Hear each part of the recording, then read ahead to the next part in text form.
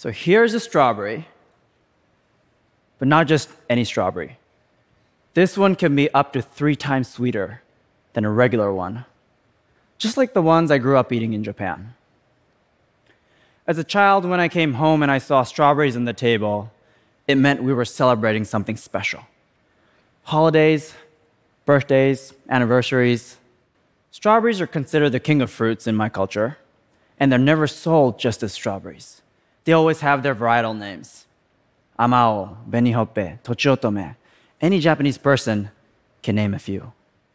Up until now, these strawberries could only be grown under very specific Japanese climate conditions. But today, you can grow them anywhere around the world using our vertical farming technology. By the way, does anyone want to try these strawberries? Yeah? There you go. No fighting over them. We have more. So today I'm going to try to give it a shot and try to convince everyone here that this technology is no longer some futuristic idea, but something that is going to mainstream very quickly, much, much sooner than you'd imagine, by sharing some of our secrets. So, how did I get here?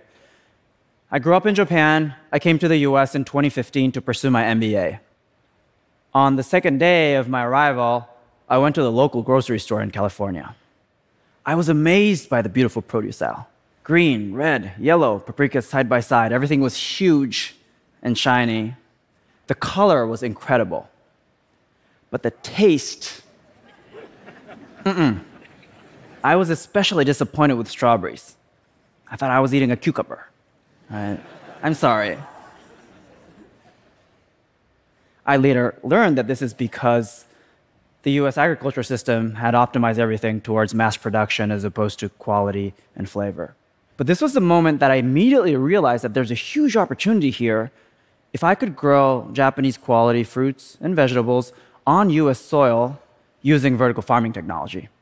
But back then, experts told me that vertical farms were expensive and they could only grow leafy greens. So your lettuces, your kales, your spinaches, because anything beyond that requires bee pollination. But bees were known not to operate well in a sunless vertical farm environment. But regardless, my partner, Brendan, and I, we decided to tackle this problem and started building our first farm in 2017 with our own hands. As two non engineer MBAs, we nearly lost a few fingers just trying to cut PVC pipes, almost electrocuted ourselves a few times.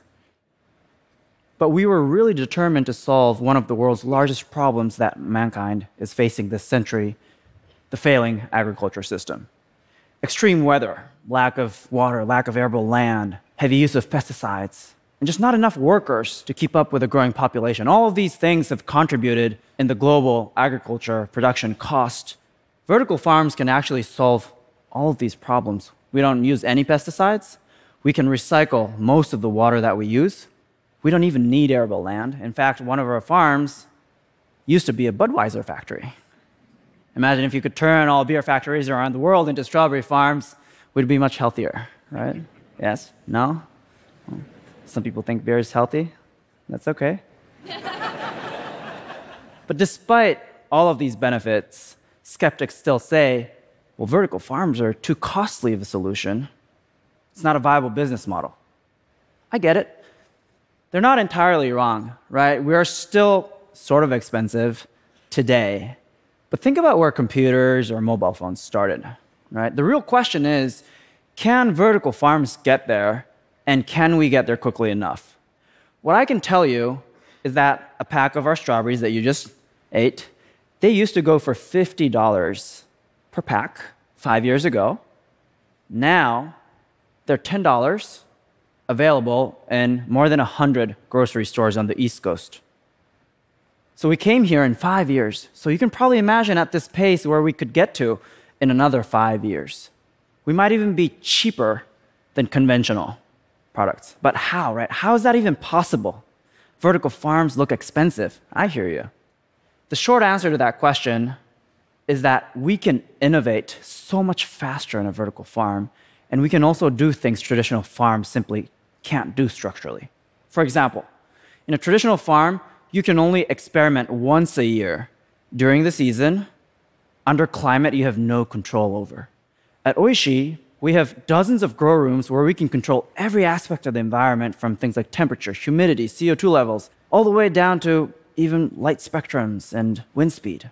So we can conduct experiments so much more efficiently in a controlled manner. And on top of that, we can start these experiments anytime during the year because we're not impacted by the outdoor seasonality at all. And using this approach, we were able to go from just a few berries on a plant to five times of that in just a matter of five years. If you try to accomplish something like this in a traditional farm where you can only experiment once a year, it could have taken us nearly 500 years to get to the same outcome. And using this hyperspeed experiments, we were also able to accomplish three major breakthroughs bee pollination, AI, and robots. Let's start with bees. I know this is everyone's favorite topic. You need bees to grow most produce strawberries, tomatoes, melons, peppers, you name it because the bees will pollinate the flowers that then become the product. But bees, they need the sun and the natural environment to navigate. So in a vertical farm, they wouldn't even come out of the hive. Even if they did, they will drunk fly and can't find the flowers.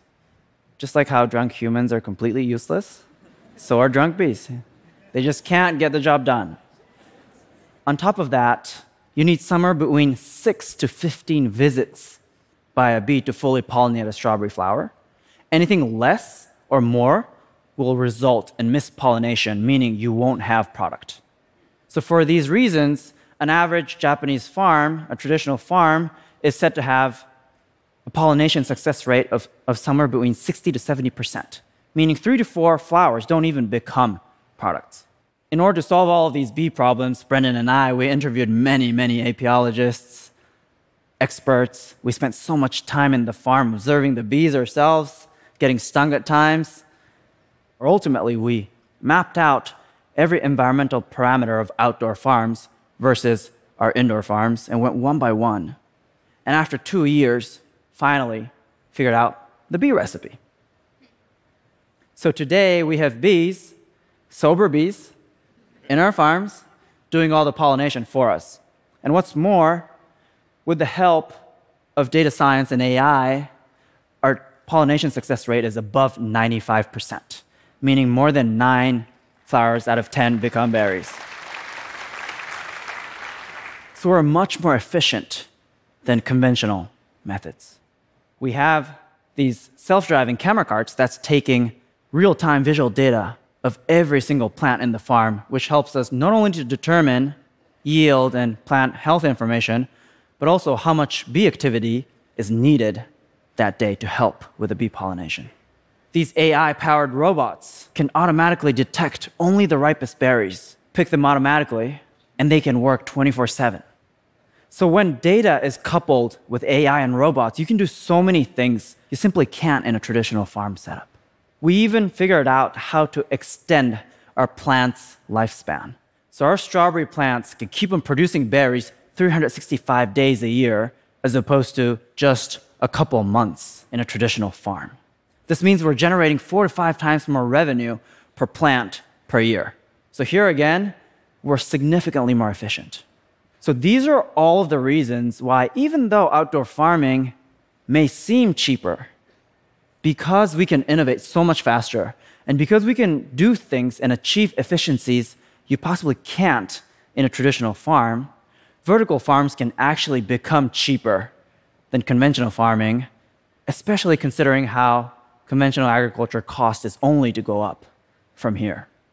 And guess what?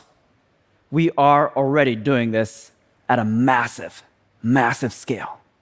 This building, which used to be a plastic factory, is now refurbished, is solar powered.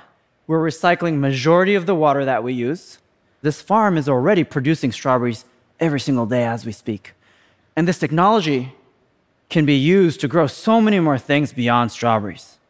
Vertical farming is no longer some fluffy, futuristic concept, but it's already here as we speak today to change our lives and our planet for the better. Imagine if these delicious, pesticide free, sustainable strawberries were available at your local supermarket every single day just for a few bucks. Isn't that a sweeter future? Thank you.